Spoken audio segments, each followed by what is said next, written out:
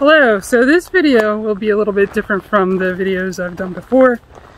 Uh, I've done a strange Google Find video and a lot of people seem to have liked that video but I wanted to get to this one um, only because I'm not getting answers. I've reached out to the Historical Society twice and still no answer. Right across from me.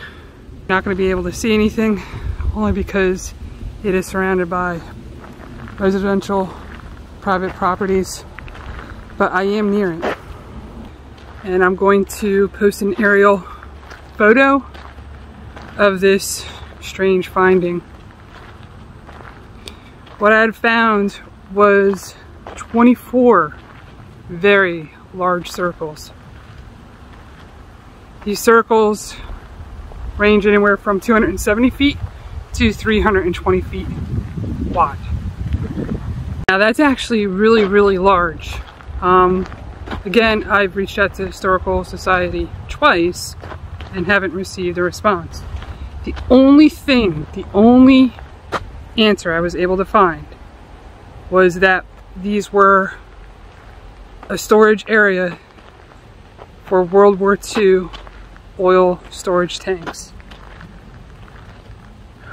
And again, they were very large. There was 24 of them. I am in Bucks County. Um, at one point, lightning had struck one of the tanks, caused a fire, and as of 2006, it is reported that the water near that area is still contaminated. Now what I'm going to do, probably the only thing I can do, is drive on one of the narrow roads.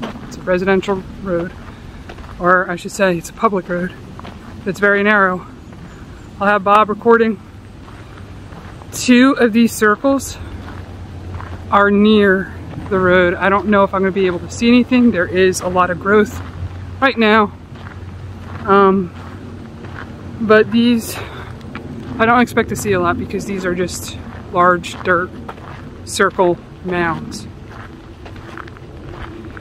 So, one of the things that does concern me is um, since 2006 the groundwater was still contaminated is actually was that information disclosed to the people that own those homes now?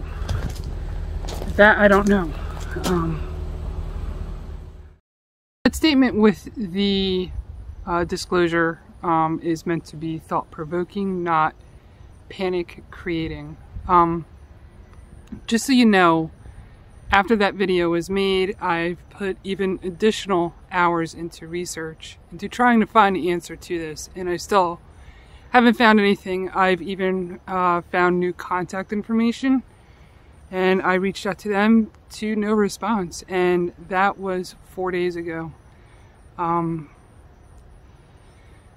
so I really am curious. Uh, since I only found one piece of information that doesn't necessarily make it credible. Uh, just keep that in mind. Um, but I do believe that there were uh, oil storage tanks there. Uh, the additional hours of research included trying to find uh, an article um, about the oil tank fire, um, one of the oil tanks being struck by lightning.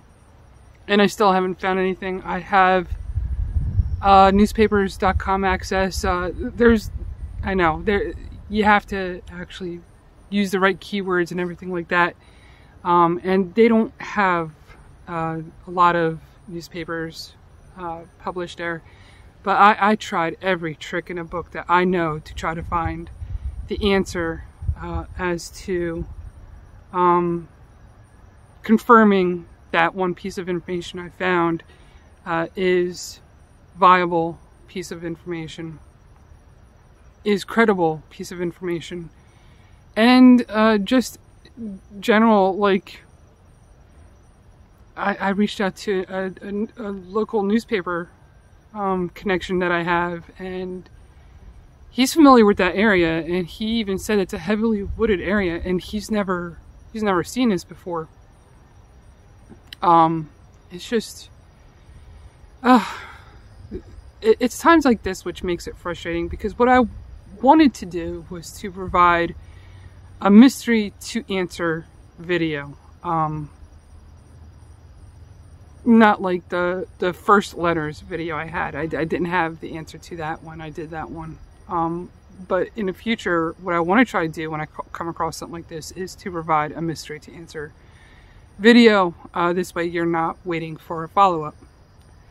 But th this one, I, I put a lot of hours into trying to find uh, the answer to this, and I'm just, it's, I keep running into dead ends. Um, so if, if, you know anybody in the area, um, this is in Lower Bucks County. It's in Solebury Township. Uh, if you know anybody or even know, you know, what it was, if the information I found is credible, uh, let me know in the comments below. Um, if you have an answer, I'll pin your comment and uh, I'll squash this mystery. And uh, yeah, it's it's frustrating. But but thank you all so much for coming along with me on this video and see y'all later. Bye.